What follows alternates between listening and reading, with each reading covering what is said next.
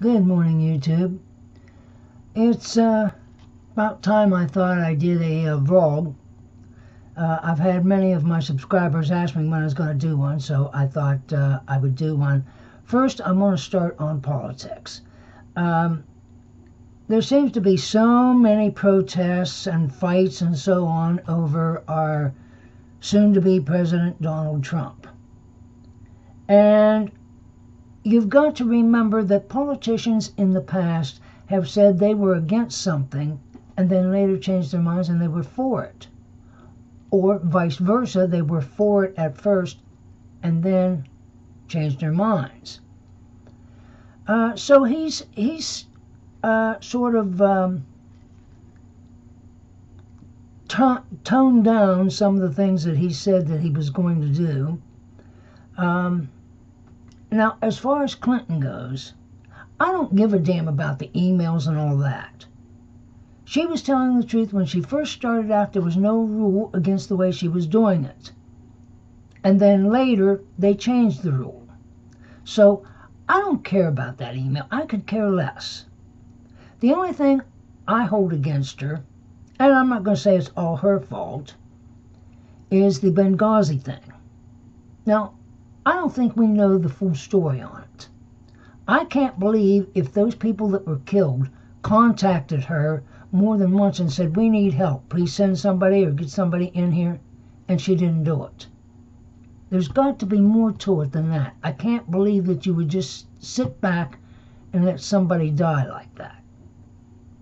So, and I, I'm kind of glad that the elections were over because I was getting tired of the mudslinging uh, I thought that was uh, derogatory. I mean, really below either one's levels. But it's happened in the past too.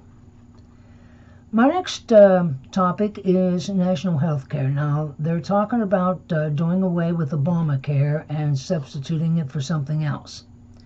Well, uh, I hope they do because when Obamacare went in, some things happened that uh, was just way out of this world, and the prices were one. Give you a good example.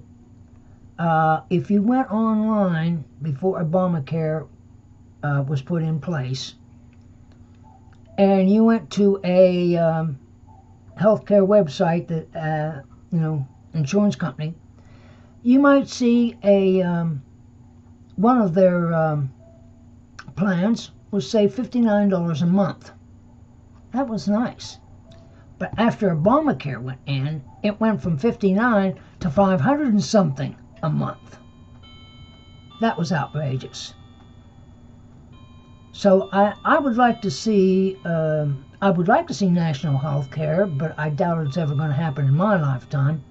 But we'll have to wait and see what uh, Donald Trump comes up with. I really it, it bothers me with, about all these protests and um, people going after other people over him becoming president. Um, I will say this we should give him a chance. Could he do worse than the pre- previous presidents? Anything's possible, but I don't think so. Foreign policy, uh. the trade agreements, I, I think they should be renegotiated. Now, as far as immigration goes, you he has said uh, he's toned that down a little bit too. I feel that if you're here, illegally, but you're not doing anything illegally, if you're living here and you're working, uh, I don't know if you're paying taxes or not, but if you are, then you should be allowed to register and prove what you're doing. Now, those that are in jail or those that they know are doing illegal, like selling drugs or that, if they want to deport them, then I say fine. Uh, my next uh, subject is um, marijuana. Uh, I've got nothing against it really. Uh, now, in my state, Ohio, they did pass the uh, medicinal use of marijuana it's not in place yet. In fact, the last time they did an article on it on television on the evening news, they said that um, it may not be in place and ready for the public until 2018. I don't know what all they've got to go through yet, but they I, I know they're taking it uh, slow and point by point to get it set up. As far as the recreational use, um, if I understand it correctly, if they did put uh, pass that, which they didn't, it didn't pass here in Ohio, that the government would handle that. Now, if the government would handle it like they do the alcohol and tobacco and all that, I say okay.